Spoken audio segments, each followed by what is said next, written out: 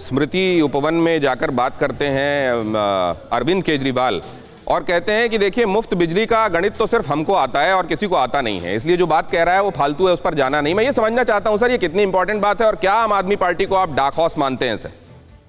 देखिए, अरविंद केजरीवाल ने निश्चित रूप से इस नए दौर के इरा, नए इरा में नए दौर में एक बिजली फ्री देने का एक जो क्रम पॉलिटिकल क्रम शुरू किया था, वो निश्चित रूप से नया है। लेकिन अगर आप तीन दशक पहले जाना चाहेंगे और उसके आसपास देखेंगे तो ये बिजली दर, बिजली फ्री देने का सिलसिला बहुत पहले रहा है, किसानों को रहा है, अन्य गरीबों को रहा है, और उसमें कोई ऐसी नहीं बात लेकिन इस समय ये चल निकला है और बहुत अच्छे से चल निकला है।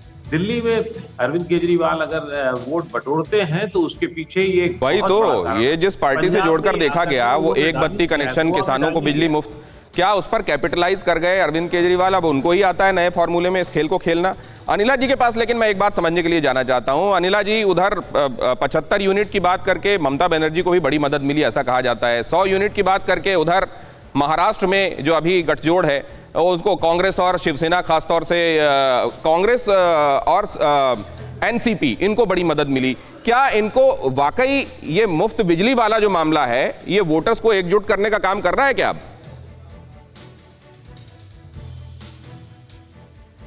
मुझे नहीं लगता। देखिए, दिल्ली प्रदेश की अगर मैं बात करती हूँ तो हमारा कोई एक मेट्रो सिटी उठा लीजिए, उतना ही बड़ा ये दिल्ली प्रदेश है।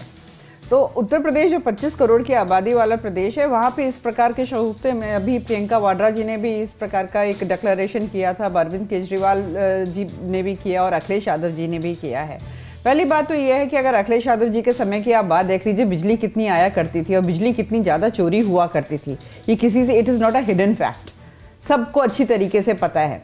आज जो जिस प्रकार से बिजली जो मुहैया कराई जा रही है, ग्रामीण क्षेत्र से लेकर शहरी क्षेत्र तक तक और उत्पादन जो है वो भी बहुत ज़्यादा बढ़ गया है।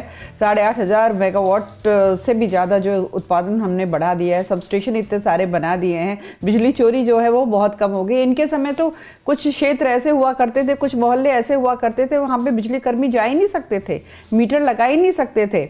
बिल तो लेना बहुत दूर की बात है।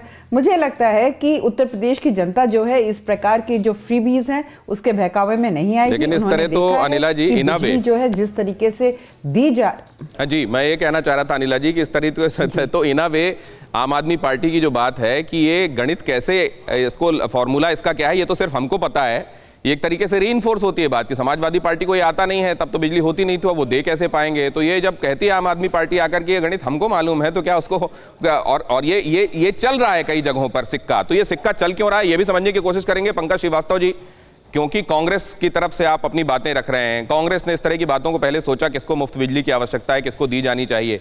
क्या वाकई उस पर कैपिटलाइज करके आज एक यूनिक फॉर्मूला आम आदमी पार्टी के पास है क्या सिर्फ़?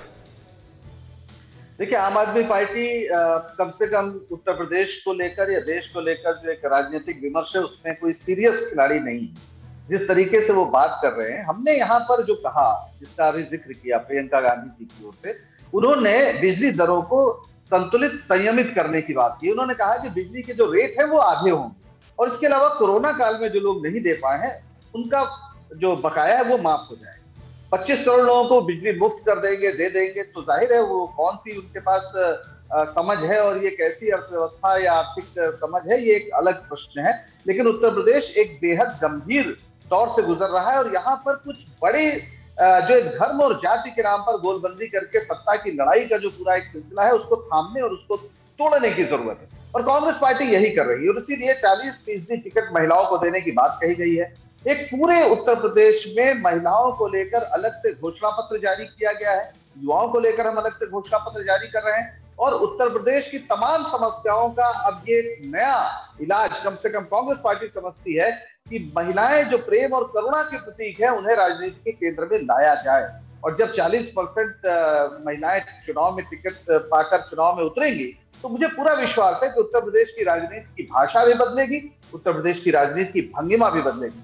और कांग्रेस पार्टी एक बड़ी रेखा खींच रही है ताकि धर्म और जाति के नाम पर जो घिसा पिटा एक लंबे अरसे से भारत के लोकतंत्र को परलोक तंत्र बना देने का जो सिलसिला है वो थम जाए। चलिए कांग्रेस पार्टी एक लंबी रेखा खींच रही है। परवाह देश की। सोमवार से शुक्रवार रात 10 बजे टीवी 9 भारतवर्ष पर।